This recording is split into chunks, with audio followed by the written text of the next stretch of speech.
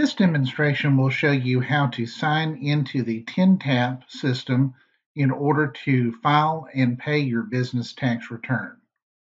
First of all, if you already have an existing TNTAP logon, please type your username and password in the area provided here and then click the logon box. If you do not have a TNTAP logon, you'll need to create one under the New to TNTAP area to create the logon form. Let's go ahead and type in the person's username and password.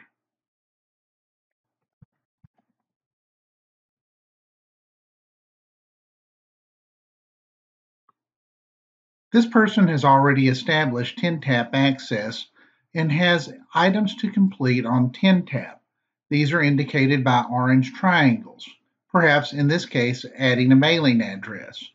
But for now, we'll demonstrate the filing of the business tax return. So in the lower left corner, you'll notice another orange triangle by business tax. Please click on the words business tax and you'll be directed to the business tax filing area. We see here that we need to file a business tax return for December of 2020 and to do so, we come down here to the middle, find the orange triangle, and say File Return. By clicking on the Return option, we go to the screens that allow us to input the information needed in order to file. We'll answer the first question. Do we have gross sales to report? The answer will be yes. Clicking yes, it asks if we will be uploading a CSV file this is not very typical. This would be through computer software, and uh, most people do not use this. So the answer to this is normally no. We click on Next to proceed. We see here that Billy's Bike Shop has two different locations. One of them is in Nashville and the other in Murfreesboro. As we can see here, we will owe business tax for Davidson County and Nashville, as well as Rutherford County and Murfreesboro. So let's do the first one by clicking on the location ID in the left column. By clicking on this location ID, we must make other selections on the next screen. In this case, Billy's Bike Shop is a retailer. So we click the retailer box to indicate that that is the case. This will set the rates for Davidson County and for Nashville. And we will also indicate that we have gross sales to report for this location. For our example here, we will not indicate that we have any deductions to report.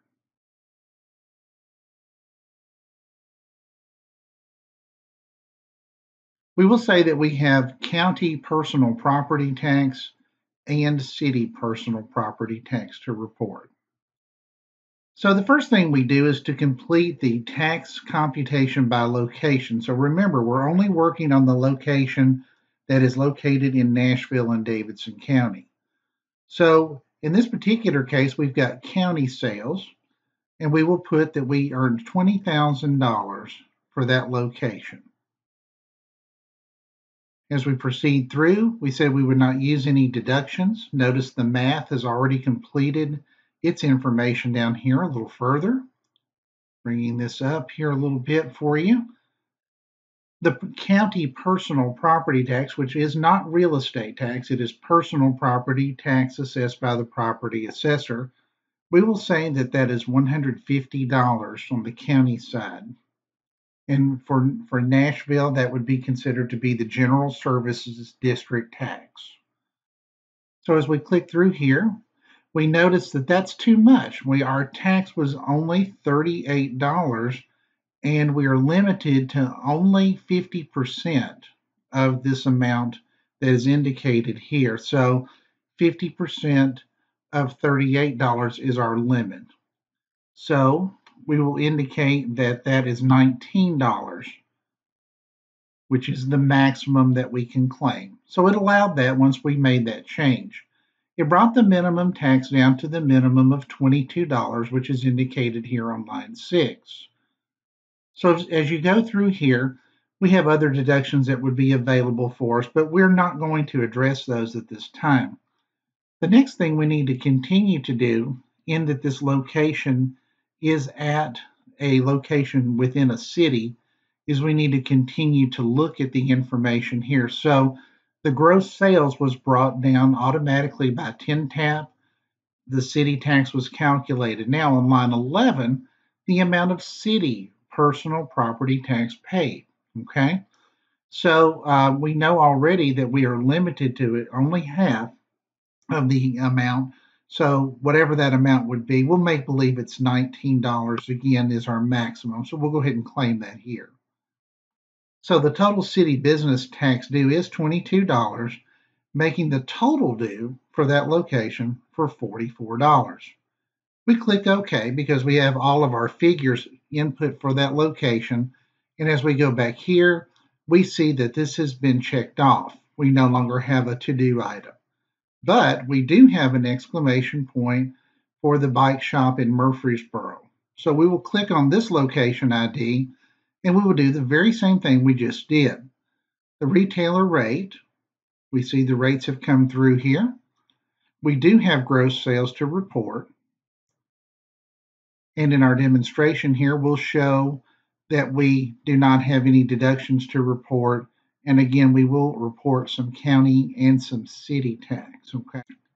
So for the shop in Murfreesboro, let's say that's $40,000. Deductions, we said we would not have any. Gross sales is automatically computed.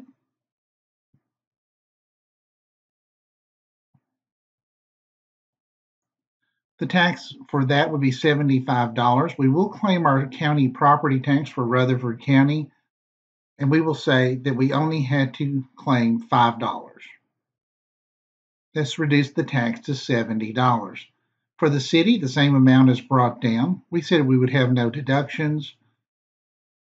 As you look down a little further, it allows us to put the city of Murfreesboro's personal property tax in as well. And we will say that that is $7. And that reduces the city part of that tax to 68.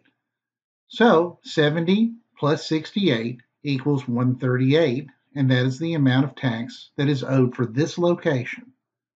So as we click on that, we go back to the main screen and we see that both locations are completely filled out. We click on Next to proceed. We reach the summary screen that shows the total amount of tax due is $182. If we had a credit on file with the Department of Revenue, we would claim that here. We are filing a timely return, so we do not owe any penalty or interest, making the total tax of 182 the correct amount. We'll click on Next to proceed. Once we get to the next page, we get to the Payments section. This allows you to determine exactly how much you're paying and if you're going to pay by ACH or if you're going to use a credit card. ACH is through your checking account or your savings account at your financial institution. Most people choose this option because there are no extra fees involved with the ACH option. So if you choose yes, you click on the yes box and then a screen comes up that allows you to type in your banking information. So you would put in your bank account type, being a checking account as an example here, the routing number for your bank, your bank account number. You confirm this. You can save this payment channel for future use if you wish. You do not have to do that. And then you indicate over here and confirm the amount that you're actually paying. Once you complete this, you'll be asked to type in your password once again so that you can certify that you have indeed made the correct payment. One other thing to point out on this page is at the bottom here, a small box must be checked. And it says by clicking this box, you certify you've contacted your financial institution and authorized payment. The reason for this is that some financial institutions require pre authorization. This is not always the case, but this box must be checked in order to proceed. Once all this information is completed, please click the Submit button in the lower right corner to proceed with putting in your password and getting your confirmation page. We will not be able to demonstrate this as part of this activity because we do not have a valid payment method for demonstration purposes. This concludes our demonstration of business tax return filing.